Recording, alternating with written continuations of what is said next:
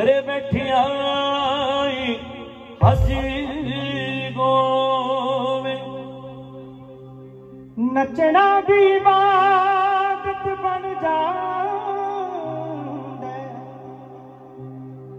ਨੱਚਣਾ ਵੀ ਇਬਾਦਤ ਬਣ ਜਾਂਦਾ ਜੇ ਨੱਚਣੇ ਦਾ ਕਿਤੇ ਚੱਜ ਹੋਵੇ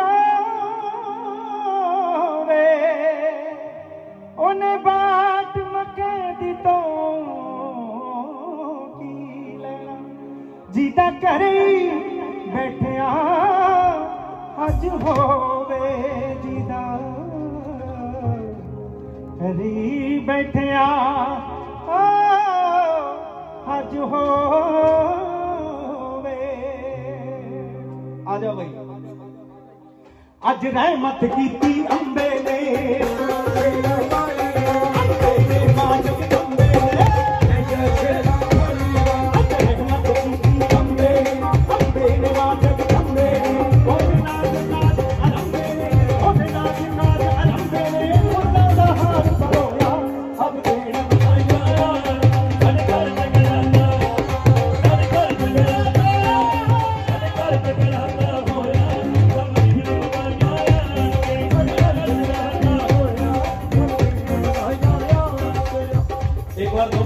ਖੜੇ ਕਰਕੇ ਫਿਰੋਜ਼ ਪਾਜੀ ਲਈ ਤਾੜੀ ਮਾਰੋ ਅਕਸਰ ਤੁਸੀਂ ਦੇਖਿਆ ਹੈ, ਜ਼ਿਆਦਾਤਰ ਅਸੀਂ ਦੇਖਿਆ ਹੈ,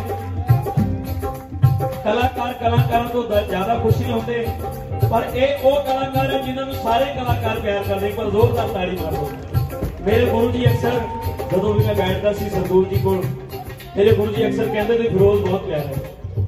ਤੇ ਜਿਨ੍ਹਾਂ ਨੂੰ ਜਿਨ੍ਹਾਂ ਨੂੰ ਉਹਨਾਂ ਦਾ ਪਿਆਰ ਮਿਲ ਗਿਆ, ਸਮਝ ਲਓ, ਸਭ ਦੇ ਹਰਮਨ ਨੇ ਕਰ ਦੋ ਹੱਥ ਖੜੇ ਕਰਕੇ।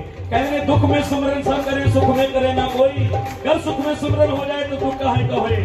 ਮਾਂ ਨਾਲ ਕਿਹਨੂੰ ਕਿਹਨੂੰ ਪਿਆਰ, ਇੱਕ ਵਾਰ ਹੱਥ ਉੱਤੇ ਖੜੇ ਕਰਕੇ ਦੱਸੋ ਜਿਹਨੂੰ ਸੱਚਾ ਪਿਆਰ ਹੈ